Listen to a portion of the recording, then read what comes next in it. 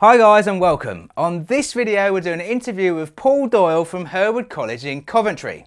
We're speaking to Paul about his work with using the JACO robot from Kinova. So if you want to see how this one-arm robot has been assisting people with upper body disabilities then please stay tuned.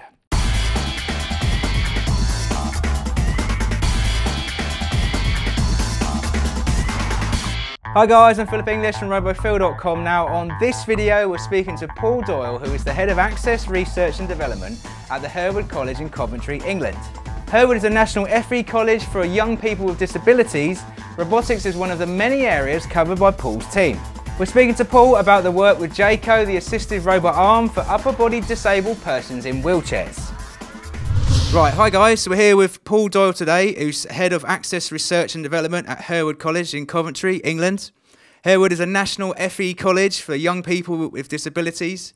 Robotics is one of the many areas covered by Paul's team.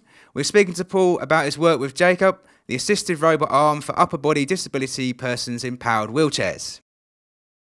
Hi guys and welcome to the RoboPhil's uh, video blog. Uh, today we're here with Paul. So Paul, please can you introduce yourself? Hello there, uh, my name is Paul Doyle and I'm the uh, Access Research and Development Manager at Hereward College. Brilliant, thank you Paul, it's a pleasure to be here today. So to start with, um, we just want a quick overview of the JACO robot. Okay, well the JACO robot is a robotic assistive device for people with upper limb disabilities. It usually fits to their wheelchair and they control the arm through their wheelchair control and it enables them to do things that they were unable to do before. Brilliant. Thanks, Paul, uh, for the quick overview of JACO. Uh, the next question I got uh, How did you get into robotics? Well, it's a long and complicated story, but uh, I come from the Midlands, so originally I worked in the automotive industry, and there we had long experience of using uh, robotics for spot welding. Uh, then making the transition into education, I took that experience with me, and for a number of years I ran a robot enrichment at Hereward College, where students built small robotic kits and got their heads around the concept of robotics. Right, brilliant, Paul. Uh, so, yeah, can you tell me uh, a little bit more about JACO? Yes, well, we've been using the JACO here at Hereward College uh, for our students, and it's a seven degree of freedom robot with a thumb and two fingers. And we're primarily using it to help students to carry out activities that they ordinarily can't undertake. So, looking at things like picking up drinks, uh, identifying uh, tasks that the student wants to do, like loading and unloading a dishwasher or a washing machine. Uh, so we're actually going through the process of identifying what the student likes to do and seeing whether JACO can facilitate that. Okay, Paul. Uh, so what do the users like about JACO? Well, we found that the students actually like doing things for themselves. Some robots are based around about providing and taking information, but this is very much a hands-on, can-do sort of robot. Our students actually like the, uh, the uh, ability to be able to manipulate things for themselves. So what kind of work have you done together uh, with the JACO? Well, working with the students, we've identified that the JACO is a very complex piece of machinery. And to use it effectively, there are a number of issues that we need to address beforehand. And the students are really helpful in identifying that because often the student's wheelchair belongs to the NHS. So we need to negotiate with the NHS so that we can actually fix it to their wheelchair. Then the student needs to know how to control it. There are lots of different methods of being able to control Jayco. And it's the student who drives that agenda forward, really. They tell us what the best solution is for them. So when you show the robot working, what sort of re re reaction do you get? Uh, usually it's, it's a single word reaction, it's wow. Uh, the students are looking at something that uh, looks a bit science fictiony really, but uh, the second reaction that we get is when it's on the wheelchair and uh, they start to look at the potential in terms of them being able to do things for themselves. So there's another wow, but it's a slightly different one. So have you done lots of research with, with JACO, and can you can you tell me about this? Certainly, yes. Um, Herwood has the luxury of having an occupational therapist uh, as part of our team, so we've been working with ROT to identify the tasks uh, and how to achieve those tasks with a number of students. Uh, we've looked at sort of the, the physical means of getting it onto a wheelchair, so that takes a bit of research. There are no two wheelchairs really the same and no two users the same, so we've had to spend a lot of time researching uh, with manufacturers and suppliers about how to integrate the Jayco onto a wheelchair. At all times also being aware that the student wants to be part and centre of the process. So it's a bringing together of lots of different components to create a solution that meets that person's needs. So uh, what is the goal for Kinova Robotics uh, and JACO with its users? I think the overarching goal is to provide a level of independence to people with upper limb mobility impairments, so that to make people more independent and able to uh, carry out tasks and activities uh, independently for themselves. Brilliant, that's great, Paul. So, uh, what are some of the most exciting and memorable moments you've had with JACO? I think one of the most exciting issues that sort of stands out in my mind is that one of our users uh, attended a 70th birthday party for his grandfather. And uh, during the process of the e- during the evening, um, they raised a glass to celebrate his birthday, and this young man was able to participate in a social event by raising a glass to his granddad. We weren't expecting that because the JACO normally is sort of a tool to facilitate, I say workaday things, eating and drinking, but sometimes drinking is part of a social uh, event, and uh, our student was able to participate in that event, and he he was very pleased and very excited to tell me about it. Yeah, no, that, that sounds really amazing. So yeah, he was there, and he and he, he raised the glass as well, you Absolutely, know, to fit yeah. in with there. Yeah. Absolutely. Okay, brilliant. So, other than lifting, what sort of other things have you seen the Jaco do? Uh, well, being that we're based in a college, some of our students follow arts-based uh, courses, and one of our students was actually using uh, a whiteboard pen uh, and drawing on the whiteboard with the Jayco arm. So uh, it was extending his palate, so to speak. He's an individual with impaired mobility. He could move his fingers, but not his arms. And by using the Jayco with a whiteboard pen, he was able to draw much larger pictures. It was something that he'd like to do, and it's something that he did do. Wow, that sounds very impressive again. So he was interacting like with the class as well and with the boards, and he can extend stuff. So Yeah, he was, he's an artist, and he wanted a bigger palette, so to speak, and this was a tool that enabled him to do so. wow, okay. Uh, so what what sort of games do you play with your robot? Uh, well, here at the college, uh, our students play a game of boccia, and it's a type of adapted type of bowls. Uh, and we've been using the JACO to pick a ball up and uh, roll it down uh, a piece of guttering so that uh, the, the students can knock the uh, other students' balls away from the puck. Okay, it sounds like a very very fun game. Yes, it is a very fun game. However, because the JACO can learn um, uh, fixed positions, one of the issues that we find is once it's got the optimum position, the student all they, all they need to do then is just repeat that, and uh, unfortunately they win every time. I see. Just press the same button again and again. Oh, very clever, very clever robot. Absolutely, I think we're going to need to change the rules of boccia to uh, account for JACO. brilliant, brilliant. So, how do you program JACO, uh, and how does it work? Okay, well, JACO is programmed through a uh, bespoke piece of software that runs on a PC. Uh, we connect the PC to JACO using a USB connection, and we change all of the parameters uh, through the software and then download it to the JACO. Then the student can uh, try out the, the machine, and if there's any tweaks required, they tell us what's needed, and we then obviously go through the process again.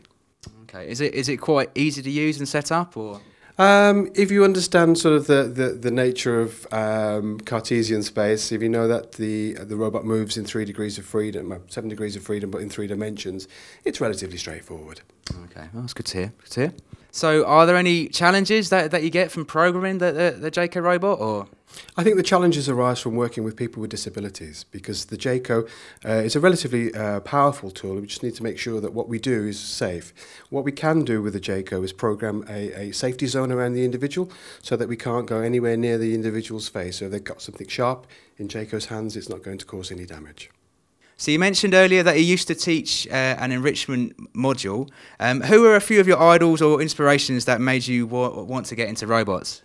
I think uh, one of my standout idols is a chap called Rodney Brooks. Uh, he's the guy who's responsible for the Roomba robotic vacuum cleaner. And I think what he's done is he's actually taken the concept of sort of complex machines and actually made them do something useful. Uh, now, some people might think that uh, vacuuming the floor isn't useful, but believe you me, it is. Uh, and also being able to do something useful within a, a reasonable price bracket. I think he's got the the package, and I think that necessarily is a is a way of moving forward with robotics, and we'd like to be able to adopt that process at Hereward. Um, okay, Paul. So, what what do you think the big misconceptions are about about the Jayco? I think there are two major misconceptions with Jayco. One is the speed. Uh, Jayco is a machine that moves at a specific speed for safety reasons, so it'll never be as fast as a human pair of hands. Uh, the second misconception is that Jayco works automatically. At the back of Jayco is the user. The user is always in control of the Jayco, and as a consequence, it will not do things for you. You will do things for yourself. Right. So the so the, the users there are expecting it to sort of go and pick the glass up and and and, and drink the gra- glass straight away, but Absolutely, and I think what, what we're looking at here now is a device that's steerable by an individual. A lot of people think of robotics as things that do things automatically. Well, this is a robotic manipulator rather than a robot in essence. So what, what are some of the important skills that you need uh, working with JACO? Well, to fix a JACO onto a user's wheelchair requires a multiple uh, suite of skills. There are mechanical skills, electrical skills, and electronic skills people also need to be able to program to a certain degree. But I think one of the most important skills uh, is rather uh, being able to work with somebody on an individual basis, having people skills. Because as I said earlier, the robot is a technology and the technology has to fit into people's lives. Brilliant. So what advice do you have for young, inspiring roboticists? I'd say look at the, the world uh, outside industry. Um, JACO is a device that sits within the world of special needs and robotics will be forming a part of many people's lives, not just in sort of the industrial uh, aspects that we think in terms of car factories and automotive uh, spaces. There will be robots everywhere, so look around you, there will be robotics opportunities everywhere at some point. So are, there aspects of working with JACO that you can transfer to other uh, robotics? Absolutely. Uh, JACO is a seven degree of freedom robot and not that dissimilar to the robots that you would find in industry. So there's a whole raft of skills and knowledge that you can transfer between both domestic robots, uh, such as JACO, and the industrial robots that you'd find in any major car factory. And, and this be a whole host of mechanical skills, software skills, uh, electrical skills? I think, yes. I mean, robotics really is a multidisciplinary skill set, really. So you have to have all of those skills to enable you to actually deliver a, you know, a, a, a solution to an individual requirement, whether that be eating and drinking or uh, assembling a car. Brilliant. Cheers, Paul. So what is the future uh, for you and JACO? Uh, we're intending to continue using JACO at Hereward College. It's very much part of our curriculum for people with uh, upper limb mobility issues.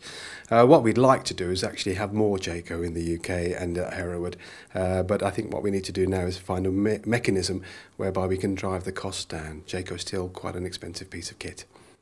For people that are interested uh, in finding out more, uh, do you have any social media networks? Yes, we do. We have a Facebook page, we have a Twitter account, and we have the college website. Brilliant. Cheers, Paul. Uh, and wrapping up, uh, what do you think the future is for robotics? Uh, I think from a, a Hereward perspective, it'll be some time before humanoid robots are intelligent enough to carry out personal care tasks and safety-based uh, tasks um, in, a, in, a, in, a, in an affordable and manageable way. So I think one of the futures that we're looking at is perhaps the remote operation of devices by pilots based in another part of the world.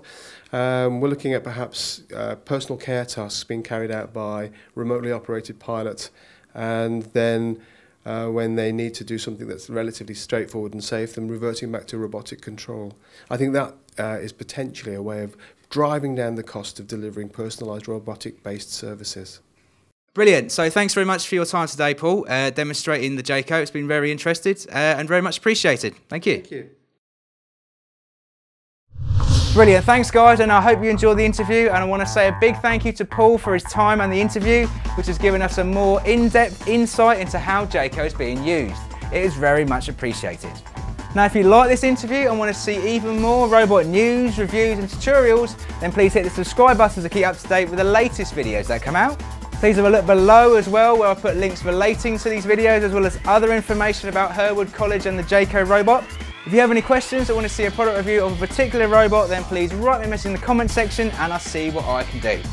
Thanks guys and I'll see you next time.